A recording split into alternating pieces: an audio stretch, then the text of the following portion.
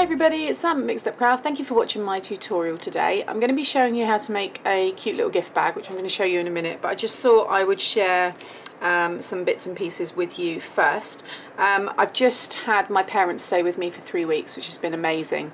Um, and I shared a photo, must have been about three weeks ago now, over on my Facebook page of the huge craft stash that my mum um, brought over from the UK for me and this is just some of it here and I um, I just thought I'd talk through a little bit. So in the UK we have um, the pound shops and we've got one that's called Poundland and they have slowly that I've noticed over the last 18 months been um, expanding their craft department. Um, they had sometimes it was like discontinued branded branded stuff um, and just little things like embellishments um, foam adhesive some card stocks and things like that. But recently they have um, launched this new collection, Love to Craft, which is their um, craft range here. Um, and my mum saw it in the shop and she showed me a picture and she said, do you, do you like this? And I said, yeah, go for it. So everything here is a pound each. Um, and they really are good. So you get, so this is called Papillon and you've got bows, you've got resin flowers. I mean, she literally just raided the store. I don't think there was anything left after my mum had been there. Um, buttons, pegs, sequins, adhesive pearls, um, paper doilies, some more buttons, some little wooden frames, and then the paper pack. Now, from what I know, there's only six by six paper packs. Um, and also every pound shop is or pound um, land sorry is different. Some are very big stores but some are very small. Some may only stock just that for example. Um, and like a lot of them once it's gone it's gone. You have to be quick with these things. So I was really fortunate for my mum to see all of this um, when she did. Um, and that's why she kind of just just grabbed it. So it all matches really really lovely. And then I'll just show you a close-up here um, of the papers. So you've got butterflies birdcage keys roses and just nice patterns and stuff so 6 by 6 8 designs 24 sheets 120 GSM it's very thin it's just like origami paper um, so don't, you know, go running in there thinking you're going to get um, this all in cardstock because it's not. But that doesn't mean to say that they won't eventually. I'm sure they're probably already evolving this and making more stuff. And it's also acid and lignin free. So yeah, I've not got anything bad to say about it. I think it's really, really, really nice. So that's the Papillon. Then they also have this Let's Celebrate. So again, you've got the buttons, you've got the bows, You've got these little sentiments here. Um, you've got all these more pearl embellishments. I've got two paper packs here and some resin roses there. The one thing I will say is they do not go. so these are the sequins. So you can see the sequins of the papillon match really lo lovely. And then these ones, they've just randomly given you some like tealy green and a really, really kind of, I guess, deep pink. But that's not in this. The colours are what's in the, the kind of um, balloons there, but they, they don't match at all. Um, so I'm not quite sure what's happened there, but you can see it really does stick out. Um, but again, here's the paper pack. Really, really is lovely um, balloons. I love the bunches of balloons there. Now, dare I say, this is very, very similar to Trimcraft when they do their collections. So I, again, I don't know. I haven't been asked to do this or anything, but they may have something to do with this. I don't know. But if I was Trimcraft, Dovecraft, it's all under the same umbrella, first edition, I would be a little bit miffed if I wasn't included in this because it is even packaged the same and Trimcraft do buttons, they do the pearl embellishments, they do the resin, they do even tag sentiment toppers just like this. So yeah, I don't know. Please comment, anybody, just kind of educate me a bit more if I'm getting this completely wrong. But as a consumer and someone who shops both brands, this is very, very, very similar. Um, even like doilies and the pegs, they always do pegs with their collections. So, yeah, I don't know. Anyway, so everything here is a pound a piece. The button, I don't think there's anything that's not really, these are a pound. Same, it's the same price and same ones that you get in the range. A lot of this is, you know, comes from factories and then the companies just brand them. So um, you will see very, very similar um, like that. So yeah, so that's the little kind of haul there of just this stuff that my mum brought over for me and I'll share other bits and pieces. So let me just get rid of all of this. Okay, so this is the project I'm going to show you today. So it's just this little kind of handbag, little treat bag, and it's got a really nice little fastening. So you basically just slide this out and then it just opens up like so. Okay, so you could put some little cellophane um, chocolates in there or even chocolates in a cellophane bag because cellophane chocolates sound disgusting um, but you know what I mean. Um, and I've done it as one long piece of ribbon I've just put a knot there um, just so you can kind of open and close it easily. And then you just slide this piece back in like so. And it keeps it all nice and shut and I think it's a really cute nice little treat bag. So um, yeah it doesn't fold completely flat but it's pretty narrow anyway so it's easy to store away. And um, yeah they're, they're relatively quick to kind of knock up. So that's using the papillon.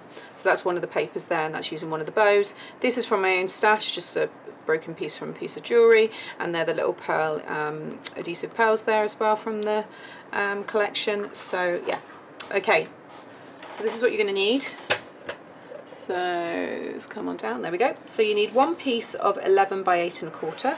Okay, so we're using the whole piece and I'll go through all these other pieces as we go through the video.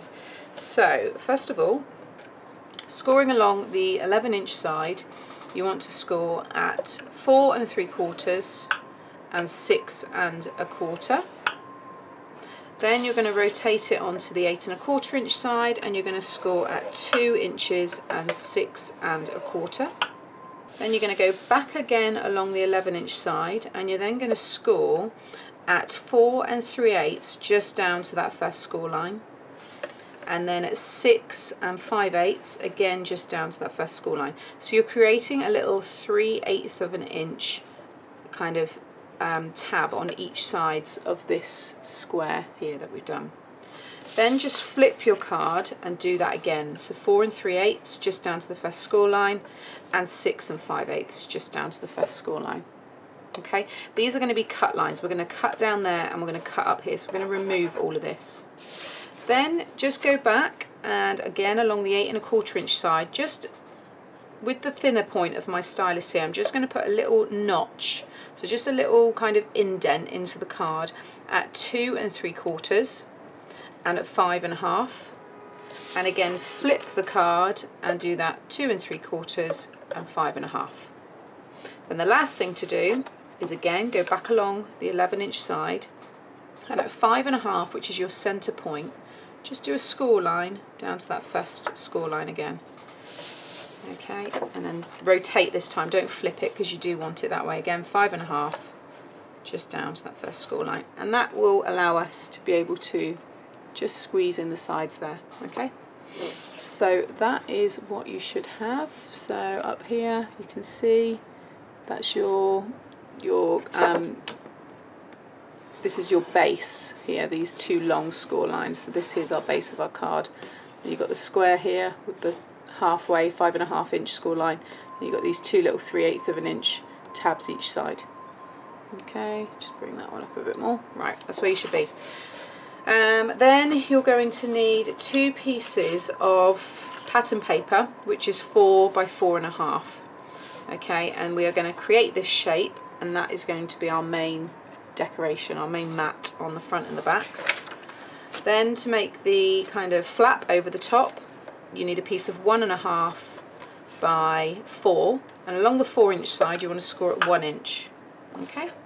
Now you can round off the edges if you want which is what I did there. This time I'm going to leave this one square because I just want to see how it looks. And I'm going to actually mat and layer a few more colours because this one I done in white um, which I like but I've obviously done pink with this one. So I'm using a white tab.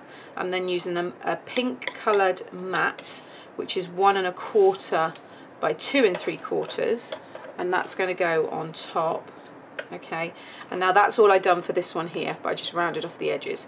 But I'm now going to put my pattern paper on top of that one so I'm adding this extra piece which is one by two and a half and that is going to go on top like so. So I'm just creating a slightly different um, kind of pattern I guess with this one. Um, then this is the little kind of um, lock that we're going to slide that tab in. And the white piece is two and a half by three oh by half an inch. Yeah just under but half an inch will be fine. And then I've literally just freehand cut this strip to go on top which I've already stuck down which is a quarter of an inch by two and a quarter okay and that's just already stuck on top because I just didn't want to lose it. And then I've got my ribbon already here which is roughly oh gosh it's going off 22 because I'm going to knot it and it obviously goes all the way around so it's 22 by sorry 22 you're looking at 32 inches but just hold fire before you cut that until I go to put mine together. Uh, okay so that's all the scoring done. So let's just get rid of the board and then come back in with our card here. So what you want to do is just burnish all of your main score lines. So the two longer ones, then your base, okay, and then all you'll be left with is these centre ones here and these ones. So all the ones that you only scored to these score lines here, that's what you'll be left with that you can't burnish right now. So let me grab my, um, sorry if you can hear my squeaky, squeaky chair. I think I need to, um, need to get that sorted. Yeah, look, that's really bad. I'm going to try not to move now. Okay, so what we want to do first of all is I think it's going to be easiest if we just cut down the outer, um, so where the tabs are outside of the main square. Okay, so you can see the ones I've cut down so this is going to be our little tabs which we're going to stick inside. So this is this bit here that we're doing. Okay, so I'm just cutting down them and then I'm going to cut all the way down here. Now, when you see me doing this, there will be a quicker way, but I'm doing it in this step by step just to, you know, so that everybody can do it. I don't want to always try and keep them as simple as I can. So just go and cut these squares out. And the reason I'm doing it this way as well is it gives you nice pieces of scrap. Okay, so they're ready now to go away in your scrap drawer. And then again, I'm just going to cut this one and that one. Okay, so you'll have four nice pieces now. You can put them away in your scrap drawer. Then you'll be left with this kind of shape. So now we need to create that kind of sloped side, that almost triangular look. So where we've done those little kind of notches, those little indents you can see just here and here. Just grab your ruler and a pencil. Okay, so from the little notched part, you're going to draw a pencil line down to this corner here. Okay, so from the little notch down to there, and then again on that other side, like so, and again on this side. Now we're going to cut down those. So these ones you need to be really, really neat because this is all going to be exposed. I'm cutting away my pencil mark, but if there is any pencil, then you can obviously just rub that out. So, you know, you can do the pencil mark and then cut that whole piece out so this piece is still attached to the scrap. But then you'd have to cut that bit off anyway because I don't know if anybody else is like me, but I like my scrap pieces to all be straight and nice and neat. I wouldn't put that in like that into my scrap drawer. It drives me nuts. There's a little bit of a, an OCD there with that anyway. So now I'm going to cut down this one. So again, I'm just just slightly removing the pencil mark there, like so. Okay, I've just realised I've actually done the pencil down to the wrong corner. So you actually need to do your pencil mark. It's fine, it's not causing me any problems. But your pencil mark, you don't want to do it to this corner, you want to do it to here. So if I, for example, just cut that away, like just cut down there, but you want to do your pencil mark down to your actual score line, this baseline here. So it literally doesn't really make too much of a difference. Um, it just gives you a nicer finish on the front. So you can see there. So that's where I did my pencil mark too when that was in. Now we're coming down to that one there. Okay, so you're doing it down to this, this your base score line. Okay, hopefully I've not made that more confusing than it needs to be. And then just again, just cut very nicely all the way down. And then what you can do is take a little wedge off of your tab like so. See what I've done? So from that notch there, I've gone all the way down to this piece, that corner. We're going to keep this. So again, with this side here, like so, and then I'm going to cut a little wedge, a little wedge there, and then I'm just going to go and just very slightly, I won't edit this out, you can see if you have just done what I did, if you were crafting along, all you've got to do is just redo that pencil line. Okay, so we're going right down there, so I'm just going to again very carefully kind of stagger it. I'm going to come down a little bit further. Okay, like so. So it just goes to show, you know, we all make little errors and stuff, but most of the time they are easily rectified. So now I'm going to just grab my rubber here and just just take off any any bits there that you can see on the side. You see I'm really concentrating. and I got a bit more here. There we go. So then you can just burnish those over again and you can see the shape that you should have. And then these ones here you want to just create a kind of um, a valley fold, just slightly, just so it kind of bends in like that. There we go. So then you will have these two pieces here. So I've already done one and that is going to fit inside like so and you can see it gives me a nice border so to get that one what you need is this was a piece of four by four and a half along the four inch side okay? The four and a half is your length. This is the width the four. So this is going yeah this way. Um, this would be the top. So if you've got directional paper what I'm doing now you want to do it at the top okay? So that you've got your pattern facing the right way. And basically you just want to come in three quarters of an inch and put a little pencil mark and so in this case I'm coming in at three quarters of an inch and then three and a quarter okay? And then the same way that we just cut on the bag we're then going to do a pencil mark from that pencil mark down to the bottom corners there. So the left and right hand side okay? So that's what you will have. And then you just want to nice nicely cut those. Don't matter about the pencil marks obviously this is on the back so you're not going to see it make sure it's nice and neat so so I've already done my other one so you'll need two pieces like that and then this one will sit nicely in there okay so go and get those two all stuck down then you want to start to stick your edges so I'm just going to pop a little bit of my wet glue just on the tab there, like so. Come up a little bit higher there actually. There we go. And then you're going to bring it in here and you're going to line it up so it's got that nice sloped side. So you want it to just marry up nicely with the edge there. Just turn that on its side. Okay, you can see what I've done there.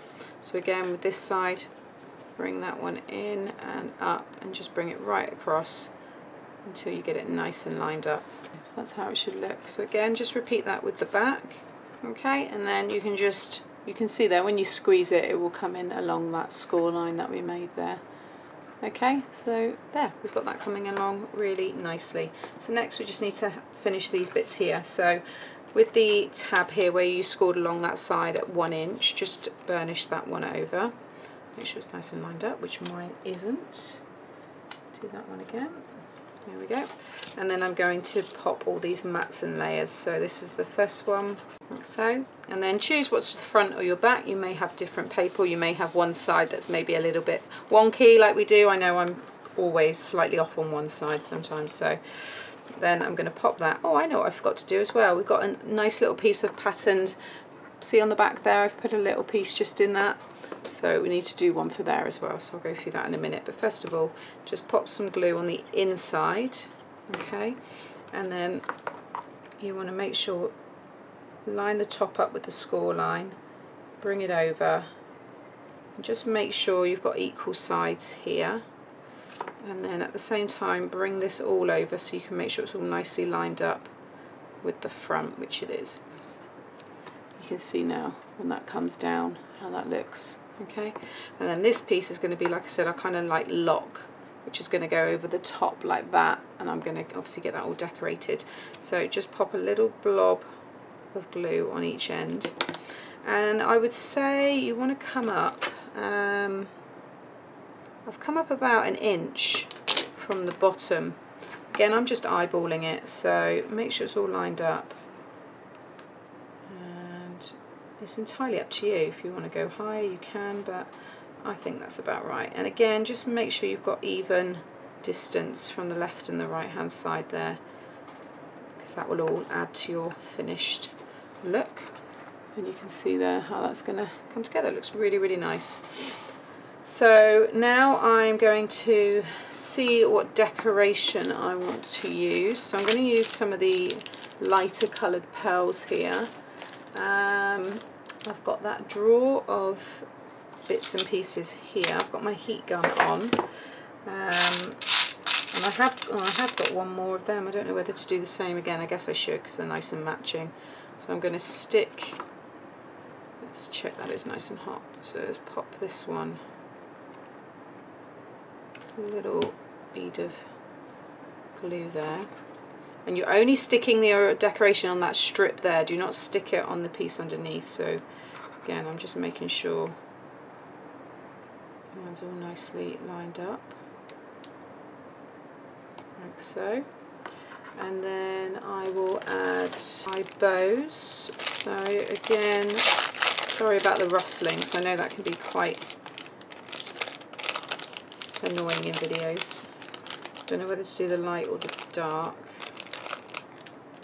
Have a little look, because it has got a darker... Oh no, I don't like that one.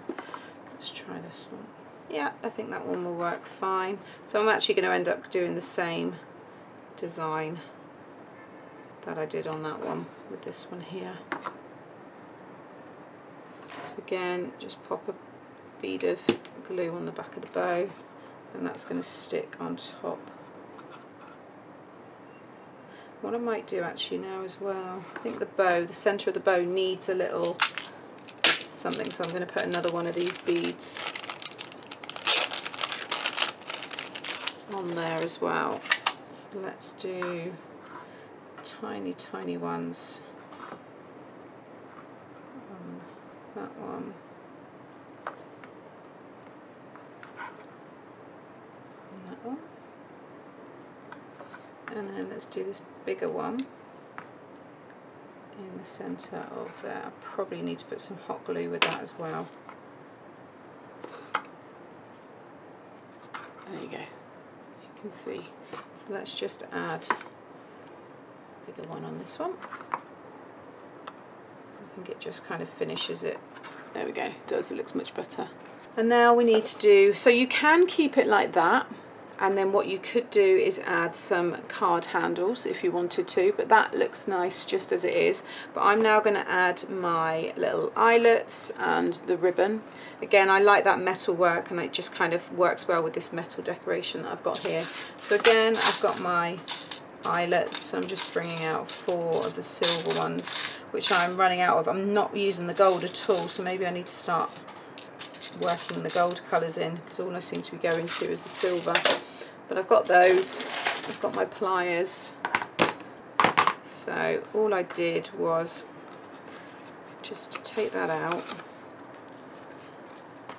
and just find the I just kind of kept it about a quarter quarter inch down from the top and in from the side. Just be careful it does crinkle up ever so slightly because you are working with the corner but you can get away with it and that one. By the time you put the pliers in it does kind of flatten itself back out again like so. And then just get them all stuck down. So I'm just going to feed these through and squash them all in. Okay so that's my eyelets done. And then again I'm going to let me just see roughly what length I did use. I think it was that. Because by the time you do the knot yes there's not much in it. So the length I gave you is about right but you can obviously make it shorter or longer it's entirely up to you.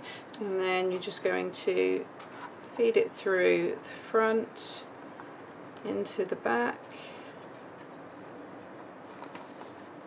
and then back around in through the back and then leave it there. And then this other front this one here sorry the other end you're going to take through the other side of the front and then get them together. Knot and just cut off the excess there and then the knot will stay in the middle. So just play around until they're nice and even. And then this piece here I mean you can what I should do with that one is just kind of curl it a little bit just because it helps slide it in each time because I've got two layers of card on this one.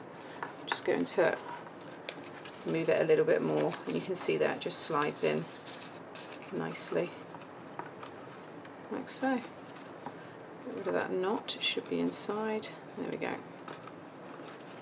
I think that's super cute. Might need to make that knot a bit smaller. I don't like it like that. There we go. It's hidden. But how cute. I think they are so lovely. You can see there closer up. So that's that one. And there's the other one. So two really cute little treat bags. These are going to be give, given to some friends with some chocolates in. And um, yeah, I, uh, I love them. I think they're really cute. I love the shape and the papers. Yeah, I just wanted to kind of show you those and have a play around with them. And I think they are really, really cute. So this is the Papillon papers from Poundland. Yeah, Pound World's closed down. Poundland. got to remember, we've got so many of them. Anyway, there you go. Hope you've enjoyed it and you can get hold of some of those supplies. Um, please give me a thumbs up if you've enjoyed today's tutorial and subscribe to my channel to see more. Thanks for watching. Bye.